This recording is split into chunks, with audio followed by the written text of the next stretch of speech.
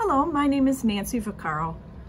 I'm a social worker with the Northbrook Police Department and the director of the Counseling Services Unit here.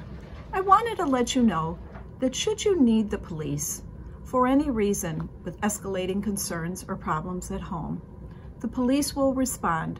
Following that, you will probably get a phone call from myself or one of my staff members here.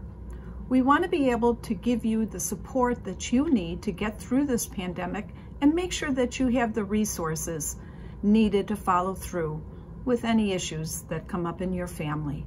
Please feel free to call 911 if you need assistance, and I would be more than happy to also follow up. Thank you.